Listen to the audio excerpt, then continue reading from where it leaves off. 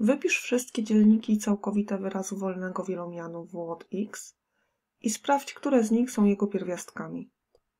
Wyraz wolny w naszym wielomianie wynosi 28. Zapiszmy, że a0 wynosi 28. Znajdźmy teraz wszystkie dzielniki liczby 28. Mają być to dzielniki całkowite, więc zarówno będą to dzielniki dodatnie, jak i ujemne. Po kolei. Liczba 28 dzieli się przez 1, ale dzieli się też przez minus 1, czyli w skrócie zapiszmy, że e, dzieli się przez plus minus 1. Dzieli się przez 2, czyli zapiszmy, że plus minus 2. Następnie przez 4, dalej przez 7, dalej przez 14 i przez 28. Ponieważ wielomian w od x jest wielomianem trzeciego stopnia, maksymalnie trzy liczby spośród y, tych y, dzielników liczby 28 mogą być pierwiastkami tego wielomianu. Pierwiastek wielomianu jest to taki x, dla którego wielomian wyzeruje się. Więc sprawdźmy, dla jakiego x nasz wielomian przyjmie wartość 0. Po kolei policzmy w od jedynki. Jeśli do y, wzoru y, na w od x podstawimy pod x1, y, dostaniemy sumę współczynników. Więc dostaniemy 2 minus 16 plus 10 i plus 28. Wykonajmy dodawanie i dostaniemy 24. Czyli jest to liczba różna od zera, czyli jedynka nie jest pierwiastkiem wielomianu w od x. Sprawdzamy wartość wielomianu dla kolejnej liczby, czyli dla minus jedynki. Podstawmy pod każdego x minus 1, czyli dostaniemy 2 razy minus 1 do potęgi trzeciej, minus 16 razy minus 1 do potęgi drugiej, plus 10 razy minus 1 i plus 28. Minus do potęgi nieparzystej zostaje, czyli mamy minus 2. Minus do potęgi parzystej znika, czyli mamy minus 16. Tutaj mamy minus 10 i plus 28. Po wykonaniu działania dostajemy 0. Czyli minus 1 jest pierwiastkiem wielomianu.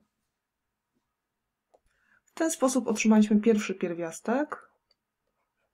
Sprawdźmy, czy wśród y, dzielników wyrazu wolnego znajdują się jeszcze y, dwa pozostałe pierwiastki. Obliczymy wartość wielomianu teraz dla dwójki,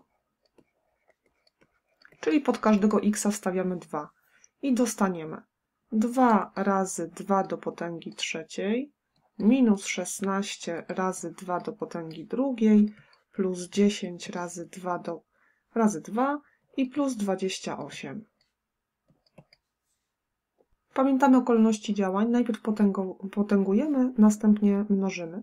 Czyli 2 do potęgi trzeciej to jest 8, razy 2 to jest 16. 2 do drugiej 4, razy 16 minus 64. Stąd mamy plus 20 i na końcu plus 28. Po wykonaniu działania dostajemy 0 czyli dwójka również jest pierwiastkiem wielomianu w. Czyli mamy już dwa pierwiastki całkowite. Zobaczmy, czy jeszcze trzeci pierwiastek również mieści się, y, mieści się w tym naszym zbiorze. W dalszej kolejności sprawdzamy wartość wielomianu dla minus dwójki. Czyli pod każdego x wstawiamy minus 2. Dostaniemy 2 razy minus 2 do potęgi trzeciej minus 16 razy minus 2 do potęgi drugiej, plus 10 razy minus 2 i plus 28. Potęgujemy. E, minus do potęgi nieparzystej zostaje, czyli z pierwszego dostaniemy minus 16. Minus do potęgi parzystej znika, czyli dostajemy minus 64. Stąd mamy minus 20 i na końcu plus 28. Dostajemy minus 72, co jest różne od zera, czyli minus dwójka nie jest pierwiastkiem tego wielomianu, więc sprawdzamy dalej. Teraz proponuję dla czwórki, czyli w od 4 wynosi 2 razy 4 do potęgi trzeciej minus 16 razy 4 do potęgi drugiej plus 10 razy 4 i plus 28. Wykonajmy działanie. 4 do potęgi trzeciej to jest 4 razy 4 razy 4, czyli 64, razy 2 mamy 128. 4 do drugiej to jest 16, 16 razy 16 to jest 256. Mamy plus 40 i plus 28. Wykonajmy działanie. Dostajemy minus 60, czyli jest to również liczba różna od zera czyli czwórka nie jest pierwiastkiem. Sprawdzamy dalej. Sprawdźmy następnie minus czwórkę, czy jest pierwiastkiem tego wielomianu, czyli liczymy w od minus 4.